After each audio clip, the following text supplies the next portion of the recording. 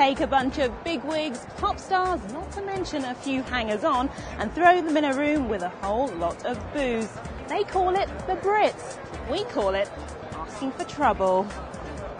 And the shenanigans started early thanks to the Klaxons, some of whom were struggling to keep upright before the show had even begun. Although alcohol wasn't the only thing making Jamie go weak at the knees, turns out he has a little thing for Rihanna. Yeah, she's pretty hot. Come into me, come into me. Be afraid, Ree, be very afraid. The Mercury Music Prize winners got up on stage with the Bajan Beauty, but were beaten to the Best Live trophy by Take That. And for anyone wondering how many more albums the Comeback Kings have left in them, well, just listen to this. We're starting to talk about it now, you know. Um, we're not in any rush at the moment. We've just come off this massive tour, so we're just going to see what this year has in store.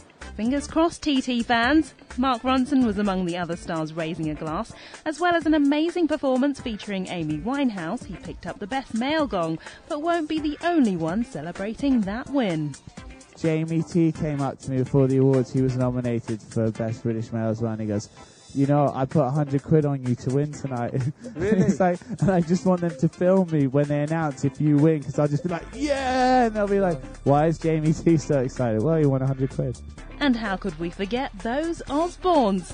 Well, the first family of rock and roll had one, or maybe a few presenting hiccups. Oh, Shut up, you Sharon!